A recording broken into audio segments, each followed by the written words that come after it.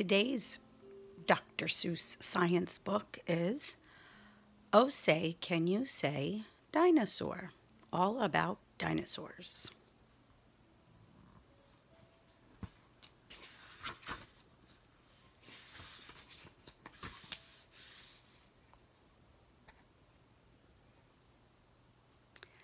I'm the cat in the hat. You have met me before. Today I will speak of the great dinosaur. Dinosaurs lived on the earth long ago, before you and me. So, how do we know? How do we know that dinosaurs lived so long ago if it was before any of us were around?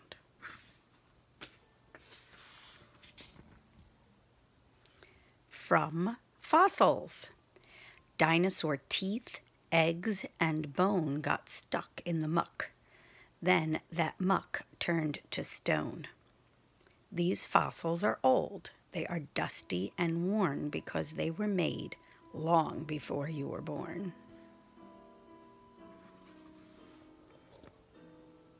Not hundreds of years, not thousands of years, but millions of years long before you were born.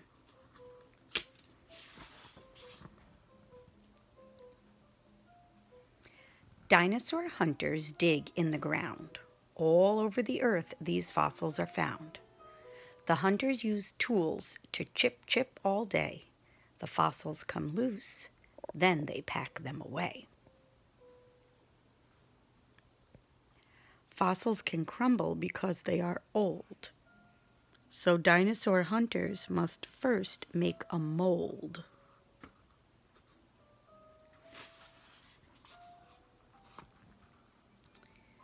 To the dinosaur labs, every bone, tooth, and bit is carefully shipped to see how they fit. Is this a leg bone? Maybe a muzzle. It's a crazy mixed up dinosaur puzzle.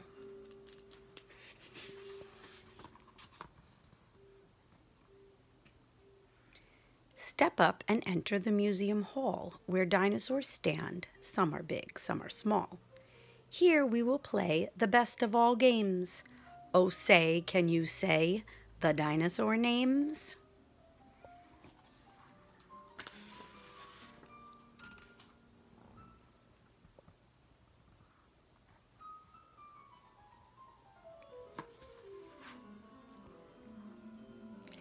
And after you've said 'em, you then get to see 'em in the Cat in the Hat's Super Dino Museum.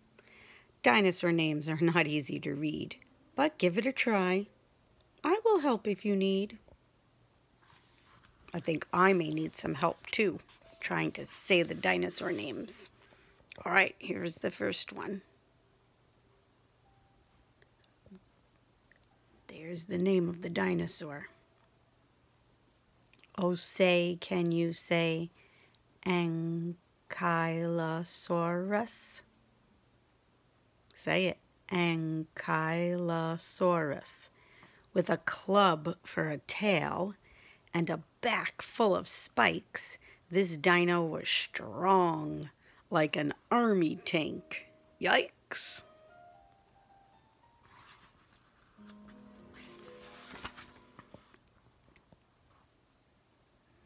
Okay. Now, can you say Maiasaura? Maiasaura. There's one thing we know that this dino did best. She kept her kids cozy and safe in their nest. She kept the nest tidy. She got her kids food. She was a good mother to her dino brood.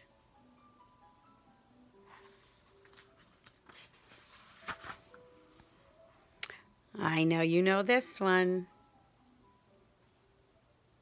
Tyrannosaurus rex. I'll bet you said that quite nicely. Now you'd better go. T-Rex is no kitten.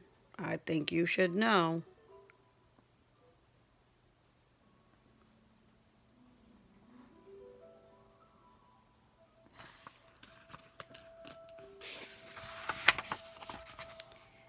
This T Rex was strong with long teeth sharp as knives. When most dinos saw him, they ran for their lives.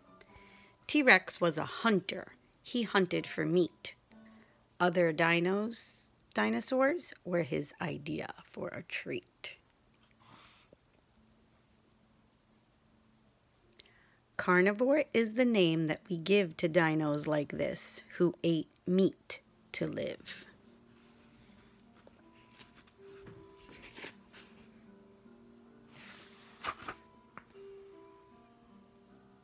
I bet you know this one too. Triceratops. Triceratops. This dinosaur's head had three horns upon it, sticking up out of a hard sort of bonnet. But though he was smaller and not half as fierce, his head was too hard for T Rex teeth to pierce. So, after a few dozen snaps at his face, T Rex looked for dinner in some other place. Mm-hmm. See, bigger isn't always better. The T Rex had a very hard head. Uh, the Triceratops, rather, had a very hard head, so the T Rex could not bite it. So that saved the Triceratops from being eaten.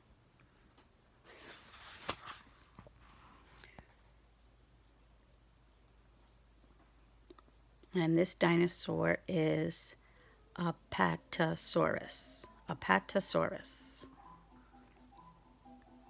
I've gotten this rather tall ladder here for us to see eye to eye with Apatosaurus. These dinos' long necks reached up high into trees, where they fed on green leaves just as much as they'd please.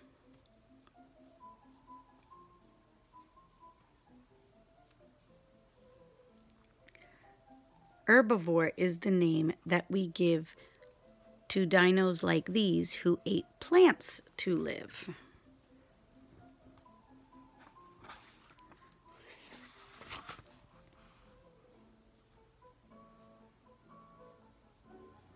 Ready this name? Look at that one. Brachiosaurus. This dino was taller than 51 feet and just how much food do you think he could eat? Nearly as much as a truckload of hay is what he would gobble day after day.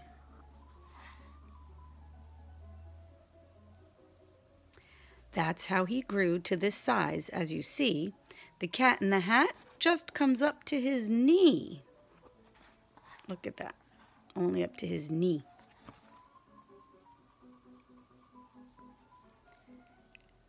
He's nowhere as smart as you or as me. His brain is the size of a small zucchini.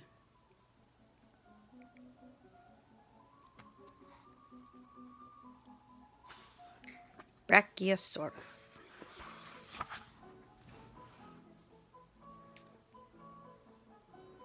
Oh, say, can you say iguanodon? Iguanodon. What he did with his thumb, we think that we know, we think that he used it to jab at his foe. See, the iguanodon has like a, almost looks like a horn as a thumb. It was a way to protect itself.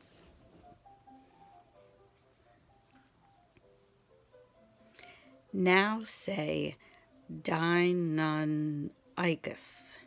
Deinonychus terrible claw is what its name means.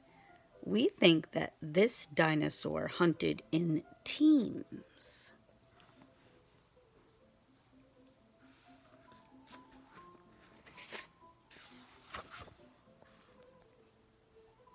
Oh, look at this one. Can you say Archaeopteryx? Archaeopteryx This fine feathered friend is the earliest known. This bird might have glided, this bird might have flown. one thing we must ask, and we must be quite firm. If this bird was so early, did he catch the worm? There's an expression that the early bird gets the worm. So, since this dinosaur bird was the very first, the early dinosaur, did it get the worm? Funny joke. I don't think the worm is happy.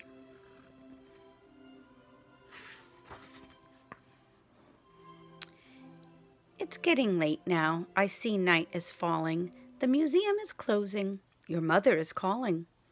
Before you head home, dear Sally and Dick, I have a surprise that is really quite slick.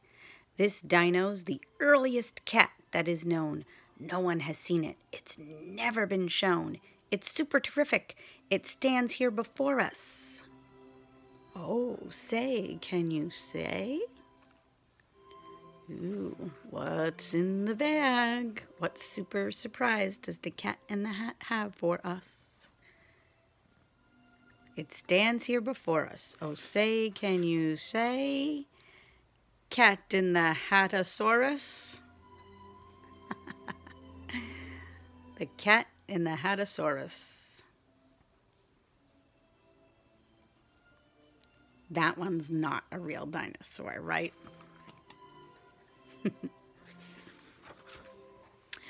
and here's the glossary section because this book did have real information for us. It was nonfiction.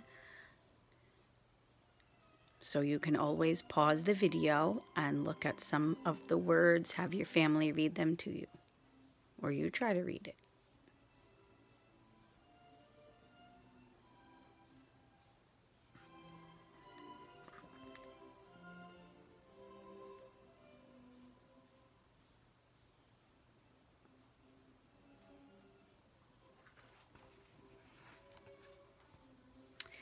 Now, this wonderful book, there's two different types of activities of drawing and writing that you can do, and I'd love it if you would do both of them. One is to go back through the video and find which dinosaur seems to be your favorite and draw that dinosaur as best as you can and write a sentence to tell me why you like that dinosaur. Maybe your parents could take a picture of you with your work or even a video of you trying to say the name of the dinosaur and telling me something about it. The other thing is, this book ended with a very imaginary dinosaur, a cat in the Hatosaurus. So, another activity would be for you to imagine and create your own dinosaur and give it a name and draw what it would be like and what would it eat and where would it live and how would it take care of its little baby dinosaurs. And again, your family could take a picture of you with your work or even a video, and they can send it on the dojo or they can email it to me. And any work you do while we are away from school, you and your family can be saving in your book bag, in your folders, and we'll take a look at it and share a lot of it when we get to see each other again. All right, until next time, bye.